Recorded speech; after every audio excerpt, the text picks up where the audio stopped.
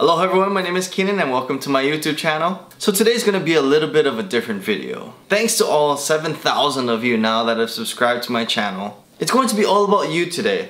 Smart, beautiful viewers at home. I really appreciate all the likes, comments, DMs, emails that all of you have been sending me since I started this channel in October. And that's why I really try my best to reply to as many comments as I can because honestly it's just really so amazing to me that anyone takes their time out of their day to watch my videos. So there's a lot of questions that I see that are asked amongst all of my different videos that I have now. So today I'm going to be answering 15 of the most common questions that I've been getting since I started my channel. And before we get started, don't forget to hit that like button and subscribe if you haven't already and hit that notification bell so that you don't miss any more videos from this guy in Hawaii talking about engineering, personal finance, and just life here in the islands. And just a huge thank you to all of you out there who have been liking and commenting on all of my videos. It really helps YouTube push my videos out to a greater audience and it really helps my channel out. So I just want to say I really appreciate all of you out there. And with that, let's go into all the questions that you have been asking me. Alright, so I have my laptop here. So number one, like what is the difference between a construction management degree, construction engineering degree, civil engineering degree, structural engineering, all that kind of stuff. So I completely understand everyone's confusion.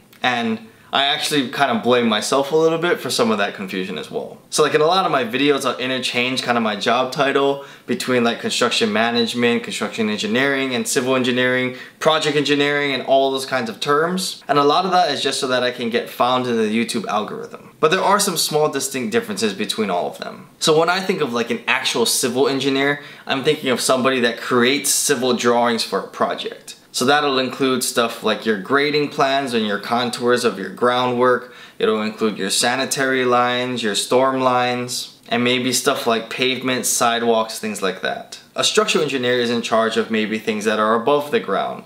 So if you're doing a building, the structural engineer will design all the columns, they'll design all the suspended slabs. If you have any sort of bridges, that's more of a structural engineer's thing. And then the construction engineer will focus more on the actual build of the project. So that's more of really what I do. I don't necessarily do any engineering per se because I'm just the builder. But a lot of times construction people will hire professional engineers to maybe design formwork and more of like the means and methods of constructions. But your focus on engineering is specifically about the means and methods of building. And the way that I view construction managers are people that are like third party organizations that represent the owner of the project that oversee the general contractor or the inner workings of the construction on the job. So that's kind of how I see the different roles in each of them, and that kind of differs from the degrees that you get. So like a civil engineering degree will cover civil engineering, will cover construction engineering, and will cover structural engineering. Similar to construction management, you'll learn a lot that is very applicable to the general contracting side,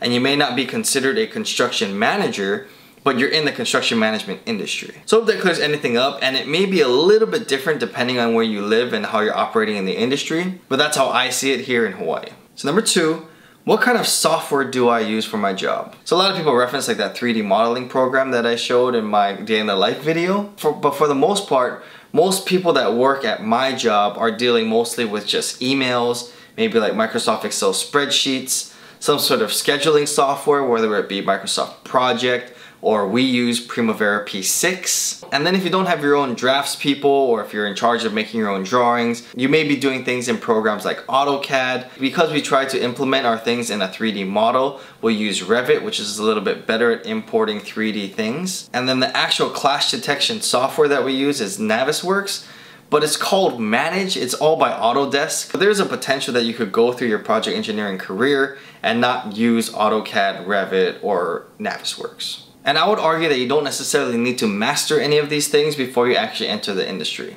M maybe reading emails, but you know. Because your software may be company specific, so like if I get really good at P6, but then I switch to another company and they only use Microsoft Project, doesn't really matter. So it really depends on the company that you're gonna work for at the end of the day. So number three, how do you get a job in your industry or my industry? So for me, the best way to get a job is through internships. Uh, I'm very big and I'm a big proponent for construction specifically.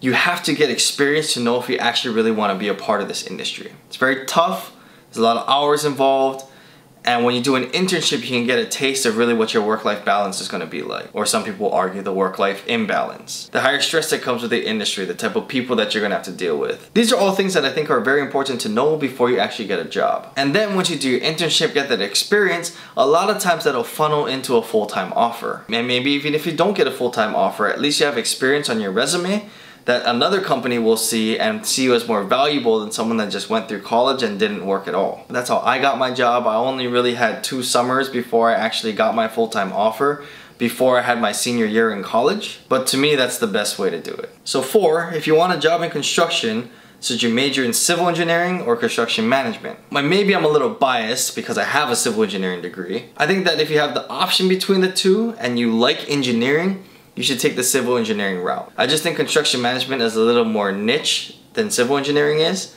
So if you get a civil engineering degree and you don't want to work in construction later on, it gives you more options outside of that. Whereas if you go into construction management and you don't really like construction, I wouldn't say you're stuck, but you just have a very specific degree. Now the construction industry in itself is very far reaching and even if you want to start in construction you could probably get another job that's loosely related and just having that experience is very good for companies in different industries as well. Some bigger co construction companies will look at GPA so if civil engineering is not really for you and you know that you're going to struggle academically, probably it's better if you're really sure about construction to go into construction management because it'll likely be a less academically rigorous course load. So number five, how do you deal with the work-life balance slash imbalance? And this is a pretty funny question that I saw on one of my other videos. He said something along the lines of like, how are you gonna find a wife if you're working all these hours? And it's a real thing. I mean, for the first few years that I worked in construction, I didn't really go out, but it's also not really my personality to like go out to bars and clubs and just like meet women. So I'll talk about both of these. So to me, work-life balance is all about what you really want in your life. So even though I work 12 hour days, maybe 14 hour days, or maybe I work seven days a week, it doesn't really affect me too much because that's my priority. I really enjoy what I do at work. I'm very passionate about learning more about the industry. And that's just how I want to spend my time. But I would argue that some people, and probably most people, don't want that. They probably want more personal time on the weekends or maybe they want to coach their son's soccer practice. And that's why I think your career really needs to line up with what your priorities really are in life. And so for me, probably later on in the future, my priorities will change. Maybe my work hours will shift a little bit to accommodate those priorities. But as of right now, I don't really feel like stress or anxiety just because of the amount of the amount of work that I put in. And that's why I think it's so important to have clarity in your industry before you start. And then in terms of relationships, meeting people, things like that, I mean, yeah, it is hard to go out and meet people when you're working 12 to 14 hours a day. Because at the end of the day, yeah, I'm pretty tired, I'm pretty spent. But again, when it becomes a priority in your life and you really want to meet that person, you'll find ways to make the time. So number six, what are my thoughts on cryptocurrency and like Tesla stock. So, so a little bit different. I know most of you on this channel are here for like my engineering content, but I also am pretty passionate about personal finance, investing and things like that.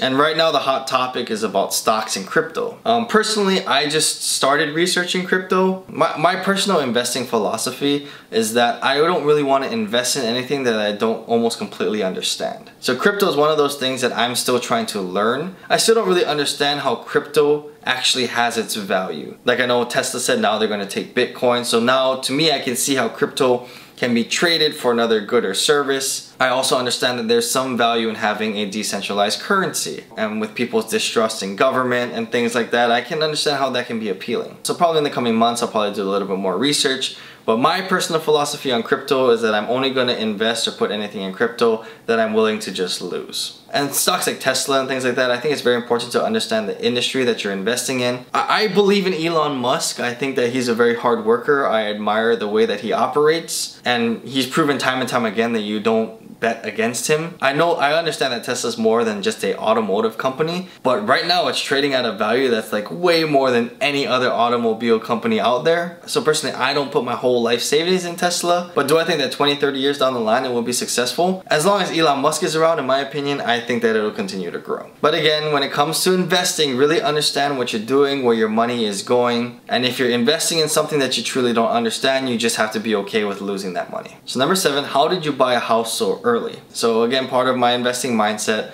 uh, I don't really spend a ton of money. So when I first started out in my engineering career, I lived at home, so I had I had a bunch of money saved up so that I could put a down payment on my home. This home right now, I only had to put down 10% as part of a first-time homebuyers program. Um, but the timing just kind of worked out. It was a very good value deal, and that's how I got my first place. And again, I think real estate is a very good investment to be in, especially here in Hawaii where property values always tend to go up in the long run. So number eight, how do international students get civil engineering jobs in the United States? So unfortunately, I don't have all the answers to this question, but it's asked a lot. I don't know all the different obstacles and hoops that you need to jump through in order to work in the US from a different country. So whatever company that you're applying to, they would have to have all those measures in place in order to hire an international applicant. And if they don't have all of those things in place and all those methods, if you think about it from the company's perspective, it's pretty unlikely, or I guess the odds are a little bit against you as an international applicant to get a job because they would probably just rather hire domestically so that they don't have to go and create all these different programs and find all these solutions to these obstacles if they don't already have them in place. Which I know is really tough to hear, but that may just be the reality, but I don't know. But if you have all of that in place, I don't see why you shouldn't be able to apply in the United States, and hopefully you guys can get your opportunities out there. Number nine, should I get a master's degree? So I have my master's degree in civil engineering. If you talk about it from an academic perspective, I don't believe that my master's degree gave me any knowledge that really helps me in my day-to-day -day job. I view my master's degree as more a tool in the tool belt so maybe if I ever want to go to like a higher level position, a lot of times corporate companies care about those kinds of things. But what I did and what I suggest other people do is I did my master's degree while I was working so that I could get it partially funded by my company. I'd be making money and starting to build wealth on the side and I would be getting actual industry knowledge which to me will get you way further in your career than any advanced degree in this construction industry. So number 10, do you need an engineering degree to do your job? No. To me, my job is all about effort. Construction is an experience-based industry. It's an effort-based industry. It's not something that a lot of us grow up knowing. And to me, the effort that you put in on a day-to-day -day basis is not something that any degree will show you. I really believe you can be very successful in the construction industry without any sort of frilly degree. So number 11, what is it like living and working in Hawaii? So I love Hawaii, I love the weather, I grew up here, my family's here, and that to me is enough for me. Relationships are a very big deal in Hawaii. It's really true that everyone knows everyone. You, when you get into the construction industry, you start to see the same people on every job. Hawaii is very expensive, however. I wouldn't say I got a bunch of hate, but I got some, I guess, discouraging comments in my video about how much I spend in a month in Hawaii. And it's pretty true, like Hawaii is very expensive. It has priced a lot of people out. It's very tough for anyone working minimum wage here in Hawaii to even buy a home. A lot of times people are forced to work multiple jobs and it's just the cost of living here is so high. But I don't know, for me, my family's here. I love the culture here. I do want to raise a family here. And it's Hawaii, you know. So number 12 how much money do I make? So I may make a video about this, breaking down my income, how I spend it. So if that's interesting to you, feel free to comment below and let me know. But right now, the way my company is set up, I have a salary, I have a bonus, and I have a company stock dividend that comes out every year.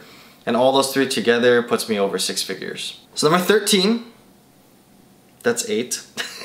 So number 13, does it matter what age I get into the industry? Uh, to me, no. So I would say at my company and from what I've seen in the industry in Hawaii, a lot of the project engineers are probably in their 20s maybe, maybe mid to late 20s. So being like 30, 40 is kind of a little older for that position. It's So that's why it's uncommon and it kind of makes sense, right? Because there's a lot of hours in construction. So usually people that are in their 30s and 40s, they'll have families, kids, and they can't afford to be spending 60 hours at work every day especially when you're trying to grow in the industry. But if you're okay with that, if you figured out your work-life balance and it's something that you want to do, I mean, go for it. Like I said, construction is 99% effort. So number 14, does it matter what kind of degree I get in this industry? No. Kind of similar to the engineering degree. Do you need an engineering degree? Again, construction, experience-based, effort-based.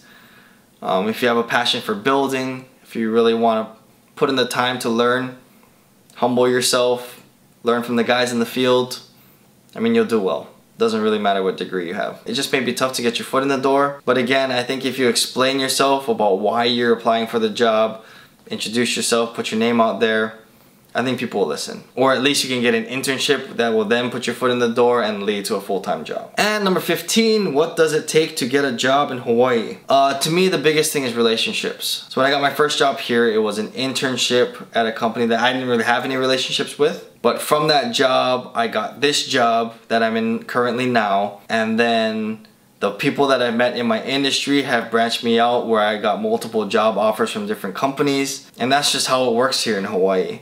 If you do well and you make a name for yourself, you put in the effort, and you just are a good, diligent engineer in the industry, a lot of people want to hire you and your reputation will take you a long way. Well, that's me responding to your comments. If you enjoyed this kind of video, if you like this kind of content, please let me know in the comments below. Again, I really appreciate all of you out there engaging in my content. It means so much. So as always, don't forget to hit that like button, subscribe and hit the notification bell below so you can join our growing family here on YouTube. And don't forget to use my link below to get two free stocks from Webull that could be worth up to $1,850. Thank you so much. I really appreciate your time and I'll see you in the next video.